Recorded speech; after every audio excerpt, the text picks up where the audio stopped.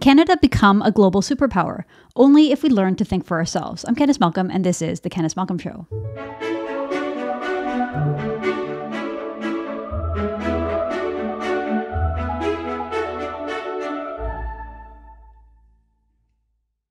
Hi, everyone. Thank you so much for tuning into the podcast. Prime Minister Justin Trudeau and his deputy, Chrystia Freeland, have a rather small view of Canada when it comes to our role in the world and on the world stage. They love to repeat their silly little talking point that Canada is back when the Liberals returned to power in 2015. To them, Liberals are the only ones that can represent Canada on the world stage. Their perverse ideology that puts internationalism ahead of Canada's own national interest rules the day. They believe in something called stakeholder capitalism, where companies as well as governments aren't focused on things like innovation, jobs, growth, taking care of the population, taking care of the people who work for the companies. No, no, instead they focus on social justice, climate change, mass redistribution of wealth, and something called equity. The more woke, the better, according to them. Canada is one of the only countries in the world, one of the only countries in the history of the world, to routinely sacrifice its own nat- national interest in order to virtue signal. We tie one hand behind our back, economically, refusing to develop our own natural resources. And rather than focusing on a grand vision for Canada, rather than focusing on big national projects, we instead focus on little small things like gender ideology, climate alarmism, censoring the internet, and recently stoking division over the issue of COVID. Back in 2017, in a speech that was much applauded by the legacy media, then Foreign Minister and World Economic Forum executive Chrystia Freeland gave a speech calling Canada a middle power. That's how they see us an irrelevant third line role player, not a superpower, not a relevant figure on the world stage. Well, my guest today has a much, much bigger vision for Canada. His latest book is called Canada Must Think for Itself 10 Theses for Our Country's Survival and Success in the 21st Century. And in it, he lays out his vision. So I'm very pleased today to be joined once again by Dr. Irvin Studin. Irvin is the founder and editor in chief of Global Brief magazine, one of the leading international policy thinkers in Canada. He has been a public policy professor and has worked for Canadian Prime Minister as well as an Australian Prime Minister. He holds a bachelor degree from York University. He's a Rhodes Scholar with master's degrees from Oxford University as well as London School of Economics and a PhD from Osgoode Law School. So last month we had Irvin on the show to discuss Canada's post COVID recovery strategy. It was a great interview. I really encourage you to go check that out. And we also talked a little bit about Canada's role in the conflict between Russia and Ukraine. So, Irvin, welcome back to the show. It's great to have you. It's great to be back. I enjoy your work. Thank you. So, so tell us a little bit uh, about what differentiates uh, yourself and your vision for Canada from the current the current government and people like Chrystia Freeland who call us a middle power. Well, I uh, offer ten theses for people to consider, uh, not on a discrete basis, but all together in terms of our ability to really survive, which is not obvious, and succeed in this century coming out of the pandemic. Now, the starting point, of course, from for, for the book is my worry about the very survival of the country before success. And that is counterintuitive to us in Canada, at least it was before the pandemic, the idea that Canada may not survive in the coming decades. And one just needs to do a calculation, which I do in the book, about the average lifespan of modern states. And they, they tend to be 60 years old or, or younger, after which they collapse through one of two forces or two forces combined. One is domestic collapse, constitutional collapse. The second is external collapse, war, or something like a pandemic. And God forbid you should have two of them combined, you'll collapse that much faster. Now, Canada is well over 150 years old. That means we're pressing our luck on, on the logic of things. That means beyond luck, we'll have to be very hardworking underpinning that hard work is thinking. We just can't work and we can't just say we're thinking because we're educated. It really has to be combined in a strategic framework. And that's the overall spirit of the book. I offer the architecture of our exit from the pandemic and how we can really survive given the wicked domestic and external circumstances and then really flourish as a major country this century. I remember there's a very famous essay written by Francis Fukuyama in the 90s called The End of History. And the idea was that everyone will come to the position of Western liberal democracy, and that's kind of the end point. And there won't be much left in terms of, of disputes and, and, and, and those kind of things. So I think people have that mindset. It was a very influential essay, and, and people just think, you know, Canada's a stable country. We're a Western liberal democracy. We've got it figured out. And now it's just about kind of managing what we have and, and, and not letting it go. They don't they don't really think of Canada in terms of having threats, having enemies, that they're being existential threats to our country, aside from perhaps secession movements, separation movements. Uh, w- whereas even then, the idea would be Quebec would leave and Canada would continue to be a functional country. Uh, but you, you, you see things a little different that, that we that we do have threats. There are potentials uh, that, that that could end Canada as we know it. So um, maybe you can walk us through what what you think the biggest threats are to our country. Thank you very much for for painting it thus. Uh, that is a famous essay, and my father, who's an immigrant to this country, used to say Canada is a country where you need to invent problems. So one of the differences between my thinking, to go back to your first question, the thinking of the current government, indeed of recent governments, is that is that I start analytically rather than saying I have a good idea for Canada. The analytical point needs to say what are our existential problems and challenges? What are the problems then to us succeeding the over and above existence? The existential consequences are wicked. Coming out of the pandemic, we have, as I mentioned in our last interview, which I enjoyed, um, seven or eight systems crises, really wicked systems crises that we need to manage concurrently, and they're existential in nature if any of the systems really collapse outright. I mean, we're talking about mass, not just death, but the collapse of the country. Domestically, we have four national unity problems, which any of which could collapse the country in the coming decades. Uh, first, the Quebec question, which is alive and well and could turn at any point. It's an ongoing thing to manage, but it is quite sharp coming out of the pandemic because a pandemic because Quebec has had a very different psychological pandemic than the rest of the country. But for certainty, if Quebec should ever leave, whatever one feels about that question, I, I love Quebec. If Quebec ever leaves, that's the end of the country. That's the end of the country. The second uh, pressure point is the Western question which is less existential and more affecting our ability to succeed and thrive as a country, but is a wicked question, uh, which I'll address, I think, in my remarks in, in the keynote in, at Civitas in Calgary. The indigenous question makes it very difficult to govern the country coming out of the pandemic. And the final one is that we have these internal borders pockmarking the country physically, psychologically, and in regula- regulatory terms coming out of the pandemic, such that New Brunswick could close off one day, say only New Brunswickers welcome. The North could close off to the rest of the country. Well, we have a country we don't, and it takes a century and a half to smooth out this this federation, and only a couple of years to collapse its internal cohesion, which before long could could tend towards separatist movements and disintegration.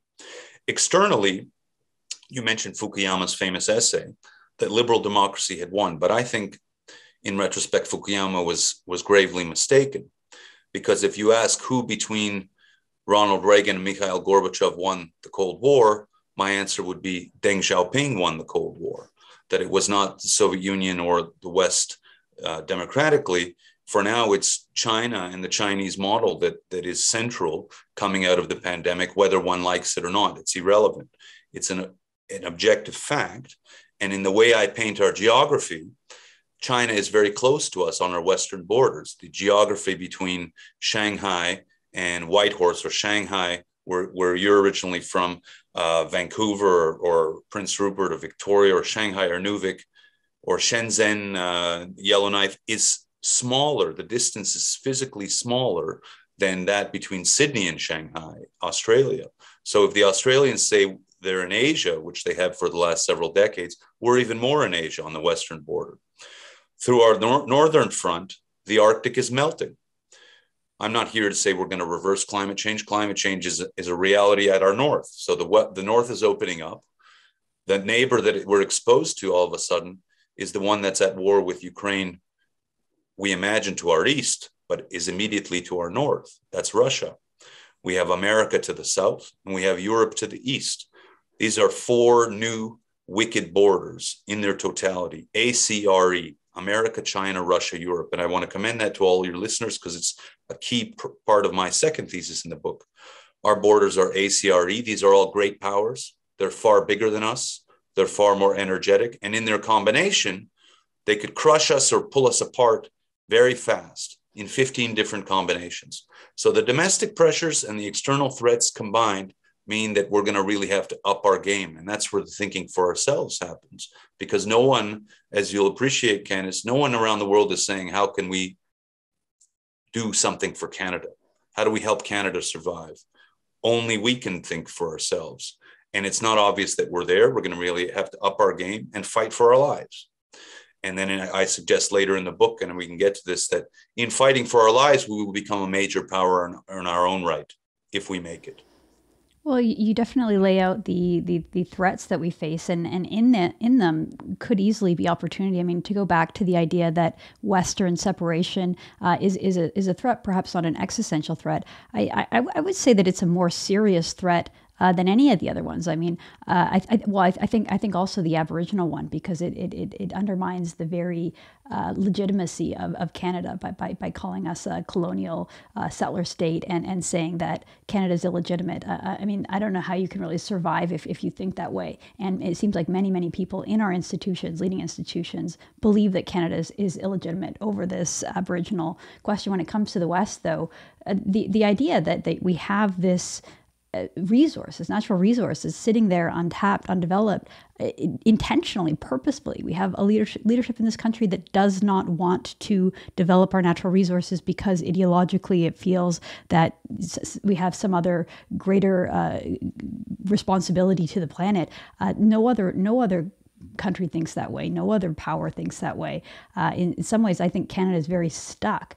Uh, but but when you look at, at the North and, and, and conceptualizing Canada in the way that you do, I, I wonder if, if that could create more opportunities to develop natural resources, more export paths uh, to the North, to Russia, to, to China. Uh, that way, do, do, do you see it as, as a potential opportunity, and how can we take advantage of that opportunity? 100%. It is the actual fourth thesis of the book I start with our our pressures, our crises. Then I say that we only we have a dyad of of, of futures, and, and none of them is a, is that of a middle power. Middle power is a slogan, but I, I prove in the book, I hope, that middle powerdom is impossible for Canada. It is either major power. I'm not even saying great power, major power amongst these major powers at our borders by virtue of surviving, or a deep vassal state, really crushed and through all these major powers playing across our territory, our, our information space, our geography, crushing us, doing all the thinking on their terms.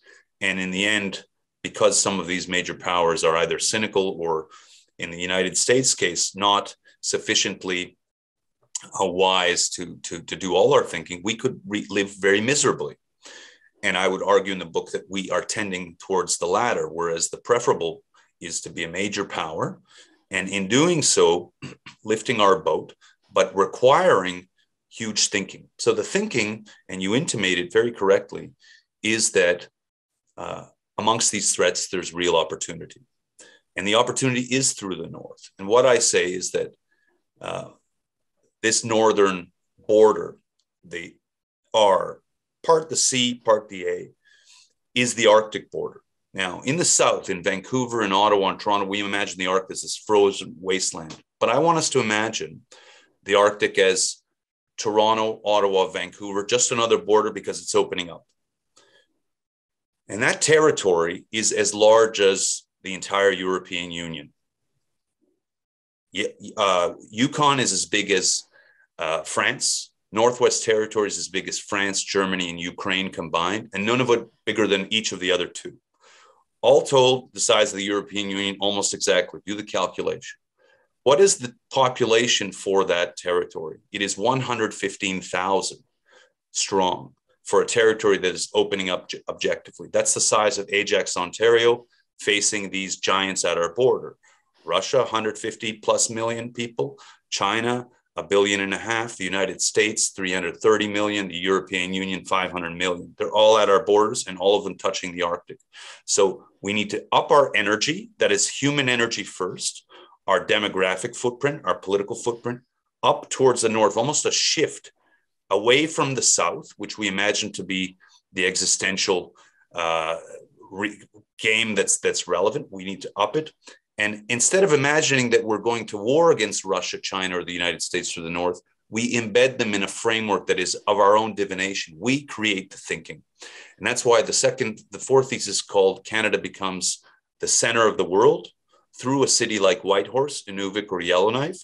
We imagine they become the Singapore of the North. And so we imagine 10, 15 years from now, business people, businessmen and women taking regular flights from the north to Shenzhen, to Shanghai, to St. Petersburg, to Oslo, to Chicago, just as we do through the south, because it's opening up. And if we don't do the thinking, other powers will do it for us. But if we do the thinking, we become filthy rich. And we also embed the, these countries in a framework of peace because the total market through the north is seven times larger than continental North America alone. And we have geographic proximities that favor us. We just need to invest and do that thinking, have the courage to build the framework where other countries are favored to have that courage. They are the thinking countries, the term setting countries like the United States, like China, like Russia. These are countries that are hyper energetic. They're ready to build the framework and they're ready to vassalize us psychologically first. And I say we up our game. We will embed them in our own framework. So we have to move fast, but we need to see our geography and the opportunity first.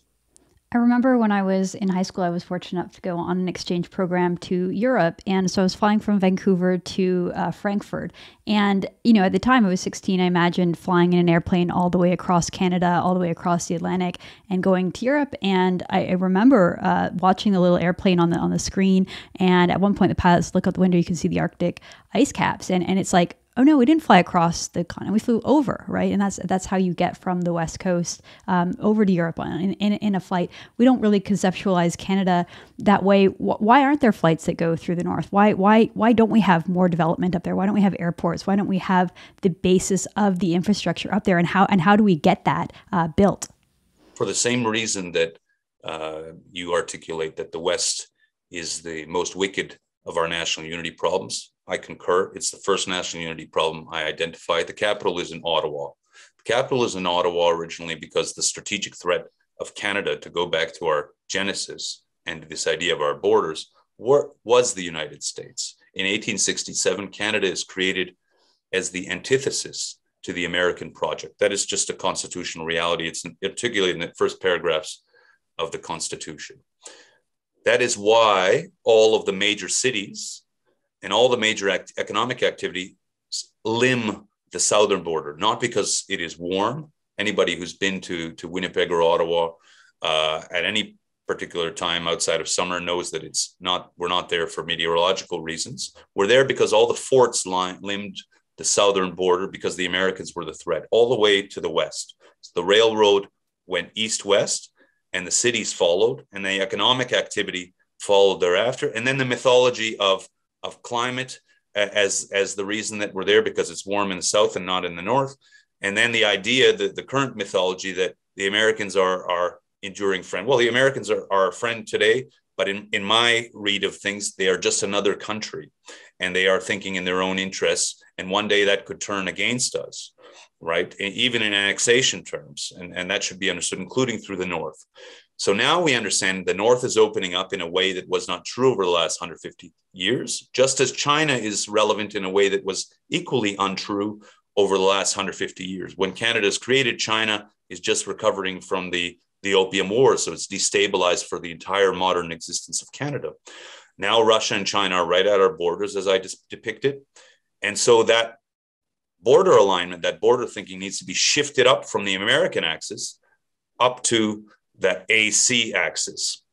And Ottawa is not there psychologically. Ottawa, as we discussed, I think, in the last interview and, and even offline, has been self isolating for two years. I mean, literally, they've been zooming the entire country and imagining that they're governing through their intellect purely the second largest country in the world, not even understanding our geography, neither intellectually nor in a felt way. And I want, I commend to all colleagues, all patriots of Canada, that to feel our geography. It is huge. Canada, we must appreciate. That's why I reject the idea of us ever being a small country.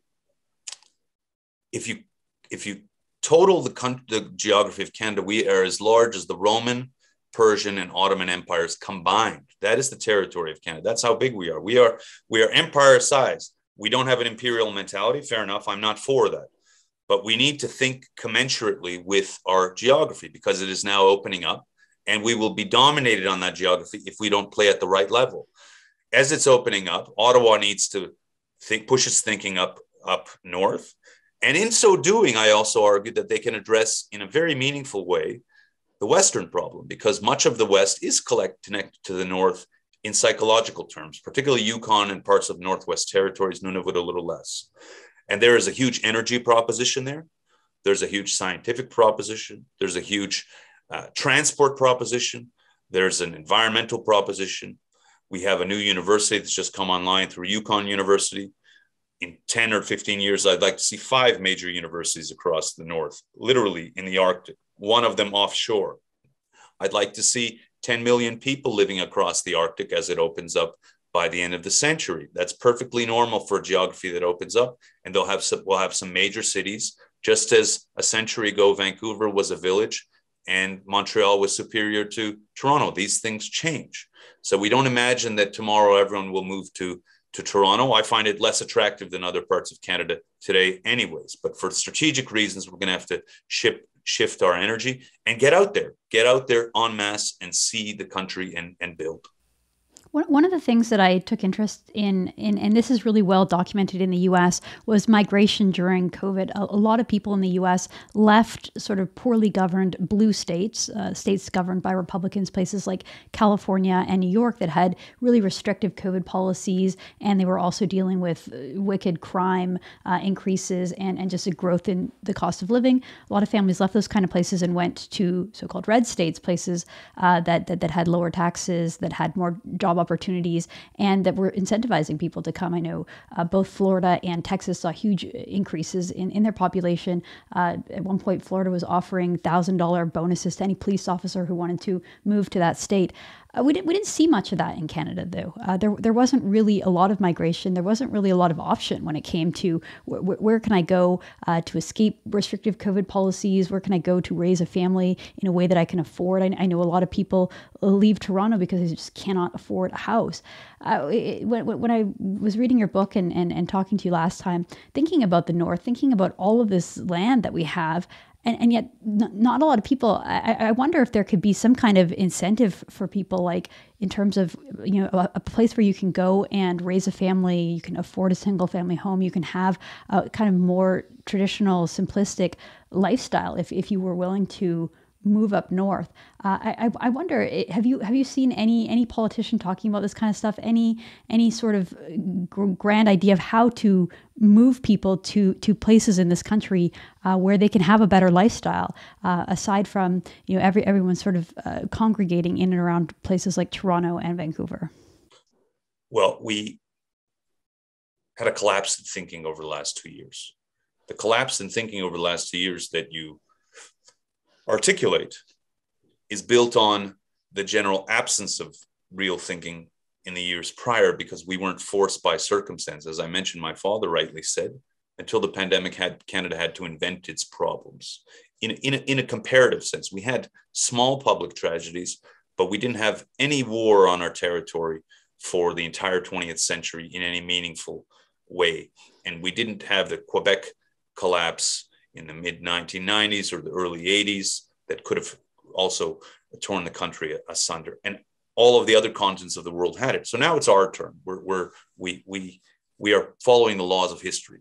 So to think, a country that thinks also says, how do we make sure that we have the right quantum of population, the right quality, and that people in our country are happy and dynamic and also are are mobile across the territory. By the way, when I talk about people moving to the north, I don't just talk about foreigners necessarily. It could be Canadians that see opportunity. And, and one of the things quietly, maybe even cunningly, that I have in the book is that the north makes the demographic about which I'm most worried in Canada dream again. That's the young people. When you talk about the north and the future of the country, as I see it, that excites young people who have really suffered most over the last two years in Canada, in my view, unforgivably it's exciting. You see the entire world, it is close to us, and we have the wrong imagination, the wrong imaginary from the south of the north. We imagine to be a frozen iceberg that's unlivable, and it's exactly the opposite. It's to be built, it's to be tamed, it's to be connected to the rest of the world. As, as I mentioned, the north connects us to a market of 7 billion people, seven, uh, sorry, 2 billion people. Uh, through the north, which is seven times larger than continental North America, and four continents so then I imagine a young person living in the north can live just as well as as perhaps you did or I did growing up in the big cities of, of the South with as much culture, with as much mobility, but proximity. They would take an overnight trip to St. Petersburg or Shanghai or Chicago or Oslo, as I mentioned. You want to go to London, or you go to another part of the north, because I imagine the three territories connected so easily. You go from Whitehorse to to uh, to uh, Inuvik overnight, and you have a nice stay. You eat in a nice restaurant. You have some some reindeer for for, for dinner. You you give a you you you take a course at the at the at the the, the university in, in Northwest Territories, and you go back home to a, a nice lifestyle. Now the cost of living is is high in the north. It's actually higher than in the south. That has a lot to do with geographic distance, the fact that all the economic activity uh, is imagined to be in the south, but also through a lack of density of populations. We're going to need more people in the north. More people actually will reduce the uh, the, the the unit costs of, of housing and, and, and food in the north, not the south, and also the unit costs of transportation, and make my life more interesting. It also serves our interest for sovereignty purposes and for the opportunity I, I suggest to have more people eventually move to the north. But as I say, it's not a it's not a painful proposition. I find it very exciting once someone understands that the, the that it is opening up much like Canada did in the late 19th and early 20th century for people who want to build a life for themselves. One of the things you hear about is that back then um, the government was offering land plots. Like people were given plot of land or, or, or, or some kind of a bundle incentive to, to go live in, in the West to develop Saskatchewan or, or you know, given some farmland in Alberta. Uh, could, could, you, could you see a program like that where, where Canadians, maybe even First Nations Canadians, are incentivized by being given land uh, that they could go develop or, or w- what other kinds of things can we do to get, to get this plan in motion? A hundred percent. And, and, and you, you began to um, hint at that when you said that over the last years we've, we've actually lost a lot of people a lot of good people in canada and no one's keeping track and we're, we're, we're loath to get them back because they're psychologically they've moved on. It's a big loss for us. We've not had to work hard and this is an area in which we're going to need to work hard to get the right quantum and the right talent and there needs to be a very deliberate choreography. Can't just be just fill the place up. I'm not for that even for the south. I'm for very bespoke choreography and that means business leaders uh, civil society leaders and government leaders getting on the phone, uh, getting out into, into markets, into, into other countries, into other parts of Canada, and recruiting actively. Make them offers that they cannot refuse because we want them. Now, we also have a, a very intuitive but incorrect psychology in Canada in respect to recruitment. We say, well, well, we'll come to the North when there's a job. And I say, no, we want the job makers in many cases. I remember uh, being at a conference in the Middle East, and they were more curious about the Arctic than we are in southern Canada. And they said, "Well, if I look at that geography, I think I could I could employ a thousand people within a year." And that's the type of person we want in the north. We want the term setters.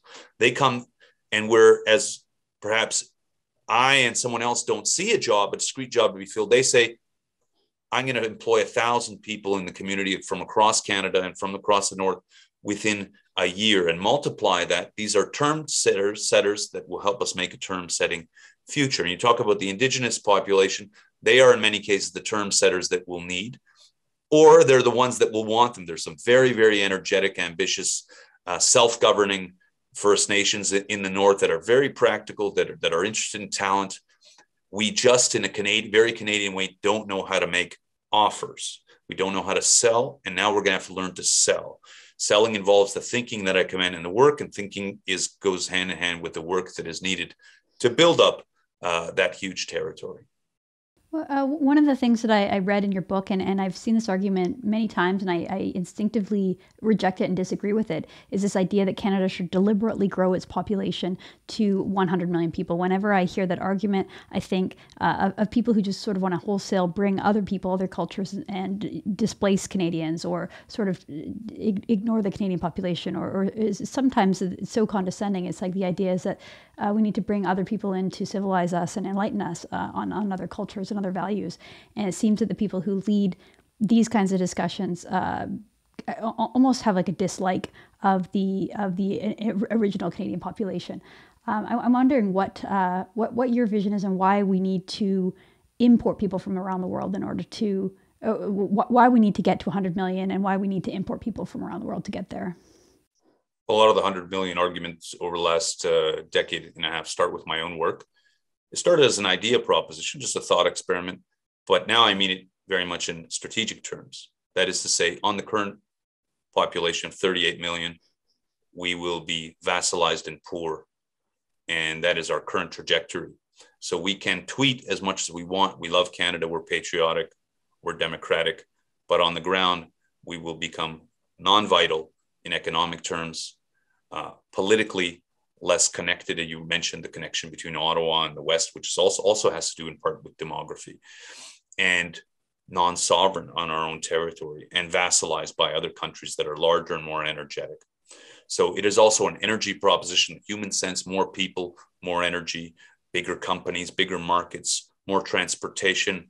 I have a, uh, I think, a powerful table in there which I talk about the basic thing of of high speed rail. We have the, the Japanese created their first uh, high speed rail uh, lines in the 1960s. And how many have we got in Canada in, in the year 2022? Still zero, and zero for any foreseeable future. We're even where where high speed rail is already passe, and there's nothing uh, possible on that on, on current demography. But with larger demography, we can not just have that. We can have we can larger capital markets, larger intellectual markets, uh, better a better cultural space. But let's talk about the north I mentioned that there are 115,000 people in uh, the north for a territory that we control for now, the size of the European Union.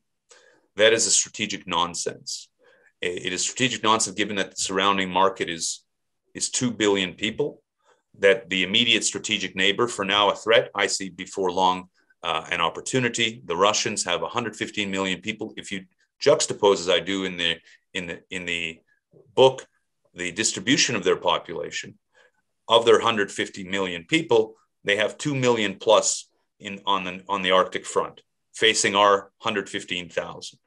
And although they're larger, they're not that much larger to command such a disproportionate superiority in ratio. So we're going to need many more people simply to govern ourselves in the north. How many more?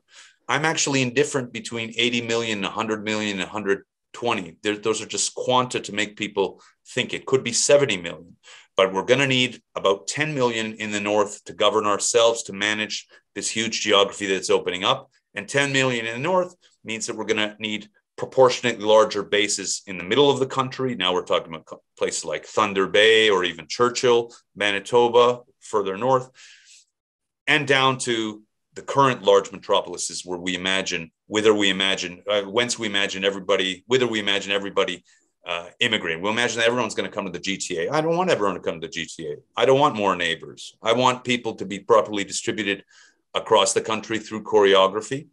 And I do want to maintain the majority minority equilibria that you talk about. There needs to be a very bespoke choreography. Uh, but we're not doing that. Even on the current immigration structure, it's very lazy. It's quite laissez faire. And it has no appreciation of our geography and our sovereignty needs and the opportunities that I, that I talk about. Well, and, and it has no appreciation of, of the, the difficult work involved in integration, right? Like you, you talk about a threat to Canada being uh, that we could become a vassal state for all of these other more powerful countries. It's like if we just start importing people from those more powerful countries and don't give them any uh, guidance, don't give them any uh, integration into our country and just say, yeah, welcome to Canada. We don't really like ourselves. We don't have a lot of confidence. We have this horrible history and we're humiliated by it.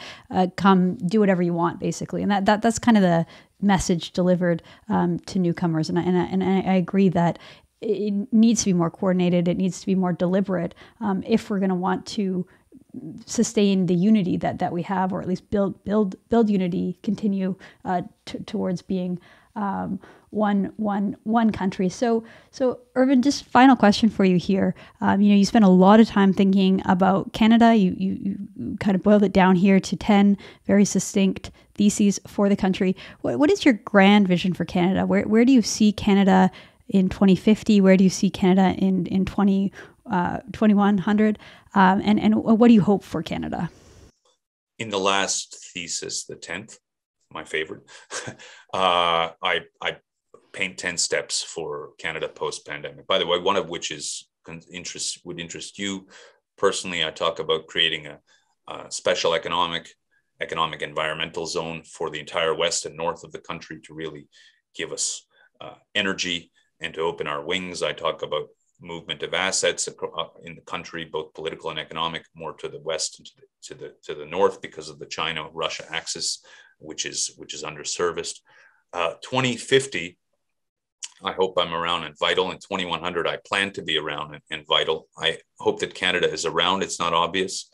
Canada is my team, so I'm always fighting for it and I, I'm thinking about it. I'm grateful, but now I realize that that it's much more the gratitude that is required for us to to keep fighting. I imagine us to be the second major country in the West um, in the year 2050, second only to the United States, larger essentially in both demography and power and influence and self belief than any Western European country, any, any European country other than Russia, which by that point will have uh, different borders, anyways. I also, however, ma- imagine us to be connected very non ideologically to all the major countries in the world. And this is an essential point. I'm very non ideological in my strategizing for Canada and must be so because if we're too dogmatic, we will get crushed. We can be dogmatic on Twitter, but we need to be, uh, I, I call it strategically promiscuous in our strategy. We need to have good relationships with all these border countries because otherwise they will crush us. And that's how a cunning, clever, calculating country that's at scale operates. So we'll have good relations, not just with the United States, but with uh, China, with Russia, with all the European countries, and then after that, with India, with Africa, all to our advantage, first and foremost, and survival. And then I hope, and this is my larger interest, in the service of, of humanity, which is the more interesting condition. But first and foremost, we have to do it through Canada, uh, which is, as I mentioned, as I as I as I commend in the book, worth fighting for. Well, that's uh, absolutely. I, I, really encourage people to go and check out your book. Where, where can they find your book right now, Irvin? Well, for the coming months, it's going to be an ebook, so they can check it on on the Global Brief uh, site. They can they can purchase it there or on the on the Institute for 21st Century Questions i21cq.com site. Um, and I hope they love it. And before long, we'll be in in print as well, and I'll be continue to talk about it. It's uh, it's highly topical. And as Irvin uh, also mentioned, he's going to be giving a keynote address at our Civitas conference this year. So if you're interested in in coming out to Calgary and, and seeing that conference, checking it out, uh, go go over to civitascanada.ca. You can find out more information about the organization, about the conference, and uh, you'd be able to come and see Irvin deliver that uh, keynote address. So, Irvin, thank you so much for your time. It's always so interesting to talk to you. Uh, thanks for sending me over a copy of your book. I really am enjoying it. I'm not quite done yet, but I'm, I'm enjoying uh, working my way through, and I look forward to seeing you in Calgary. Me too. See you soon. Thanks for your work. All right. Thank you so much for tuning in. I'm Candice Malcolm, and this is The Candice Malcolm Show.